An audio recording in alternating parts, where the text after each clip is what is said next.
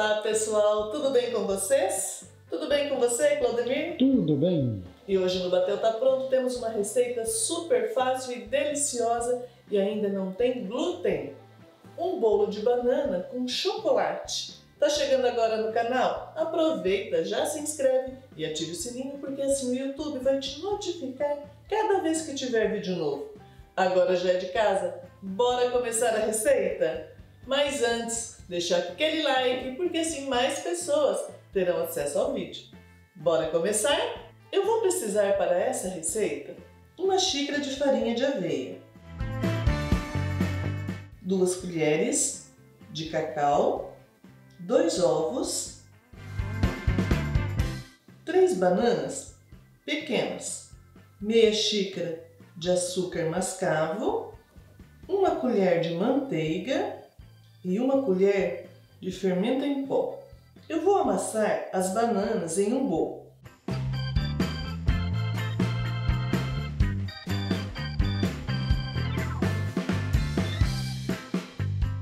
Acrescento meia xícara de açúcar.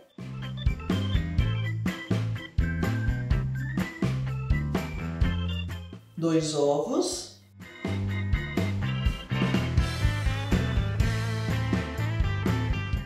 Agora venho com a manteiga e o cacau. E por último venho com uma xícara de aveia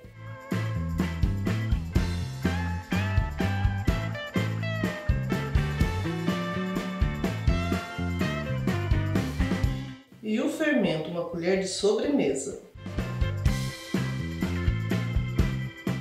Misturamos tudo e agora vou montar uma forma. Lembrando que eu vou deixar na descrição do vídeo a receita completa para vocês. Agora eu vou montar uma forma de 18 centímetros de diâmetro por 6 de altura. Passo manteiga na forma, transfiro a massa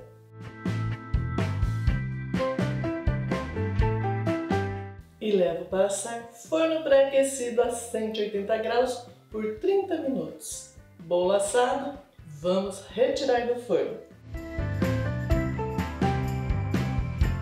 E ficou esse bolo delicioso, gente, e ainda sem glúten.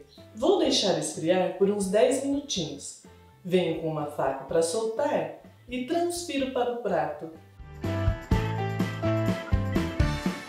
Agora vamos cortar um pedaço para ver como ficou? Vamos!